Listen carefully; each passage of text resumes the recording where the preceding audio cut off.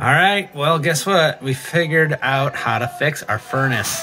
I wanted to post this video to show you an easy way to save a ton of money.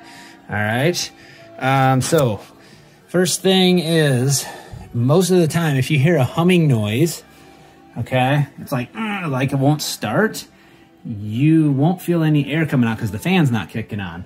This is your fan, a squirrel cage, I think they call it, okay? Um, so this little thing right here, you'll see it on your furnace. This is a capacitor, and I bought a new one off Amazon for $13.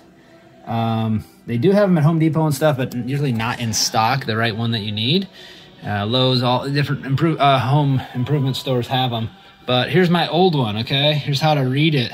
On here, you'll see a 40 UF. Yours might say... Okay, as I was saying, here is the old capacitor, okay?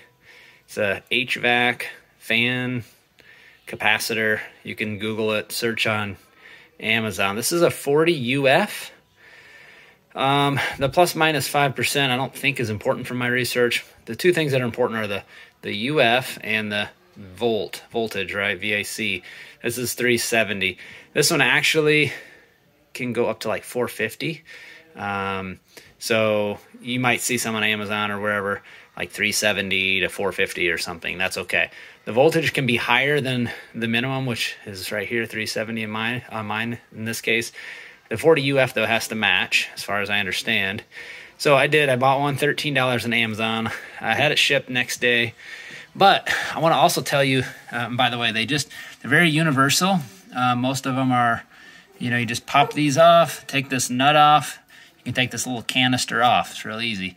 You may want to discharge, just make sure you may want to touch those together with like, um, you know, screwdriver or something. But the cool thing is uh, my uncle works at HVAC company and he told me, he's like, well, the way you can test it, of course, I didn't have a volt reader meter, but you, I took this off.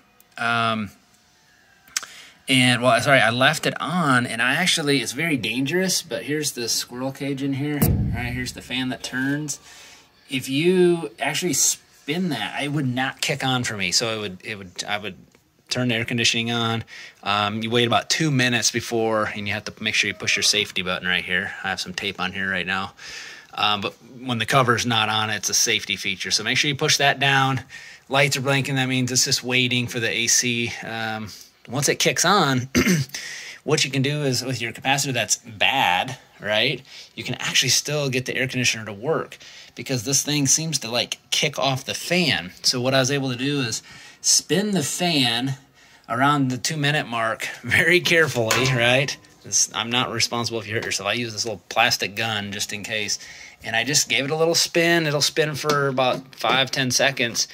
Um, and I did that until it would kick on.